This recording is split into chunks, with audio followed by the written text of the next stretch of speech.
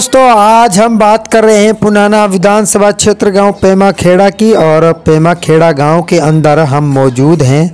एक ऐसे परिवार के बीच में हम मौजूद हैं, जो बहुत गरीब परिवार है और इस परिवार के पास एक बकरी है, जिस बकरी के ऊपर अल्लाह और अल्लाह के प्यारे नबी का नाम लिखा हुआ है। बकरी तकरीबन दो ढाई साल की बताई जा रही है।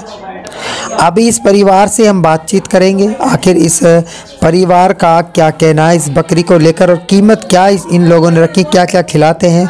और ये इस परिवार को कैसे पता चला कि इस पर अल्लाह और अल्लाह के प्यारे नबी का नाम लिखा हुआ है? मैं आपको एक बार से बता दूँ, अगर कोई भाई इस बकरी को लेना चाहता है तो इन लोगों का नंबर हमने डिस्क्रिप्शन पर छोड़ दिया है।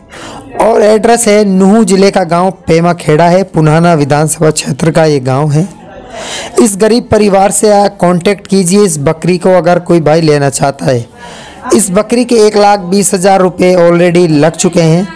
इस परिवार ने इस बकरी को उस वक्त नहीं बेचा था।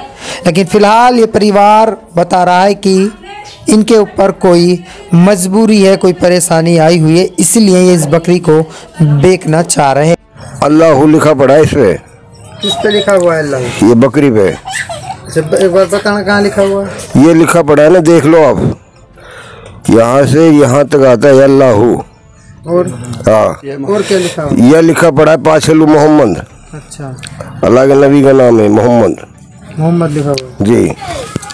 अच्छा आपका बकरा है हाँ जी। अच्छा क्या लिखा हुआ है इस पे? इस पे अल्लाह का नाम लिखा हुआ है और अल्लाह अल मोहम्मद का नाम लिखा है इस पे। आपको कब पता चला इस पर? इस पे हमने गौर करा था जब हमें पता लगा। दो तीन मौलाना आए और मौलाना आया हमारा मस्जिद का जी उसने इस पे पढ़ा था और इस पे अल्लाह का नाम लिखा है और मोहम्मद का नाम लिखा था। अच्छा अच्छा। तो ये ये बकरी है बकरा? बकरी है जी। ये आपके घर की थी या फिर लाए थे हमने इसको लिया थी लिया था? हाँ जी। कितनी बड़ी लिया था? ये छोटी सी। क्या क्या खिलाते हैं उसके लिए? इसको ये चारा वारा खवाते हैं नियार चना वना खवाते हैं। बिनोला भी खाती है दाल भी क्या खाती है।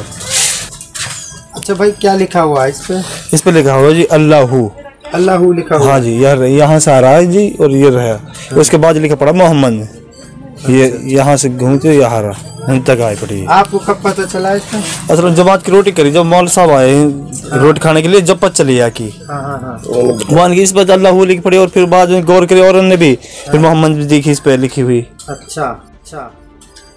तो आप क्यों बेचना चाह रहे हो उसको बस थोड़ा घर की ज़रूरत है अब जिस बेचना चाह रहे हैं अच्छा तो आपने इसकी कीमत वगैरह क्या रखी? यहाँ की डेढ़ लाख लग गए जी आगे भी गए पैसा ना हाथ में देंगे ना जी जब डेढ़ लाख के वन नहीं। अच्छा अच्छा।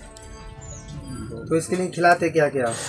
बिलौना चना और दाल वाले घने सौदे खवाते हैं। इसके लिए? हाँ इसके लिए। चना का भी यहाँ पे धरे चना बिलौना। तो कितने साल की बकरी है? ये दो ढाई साल की है।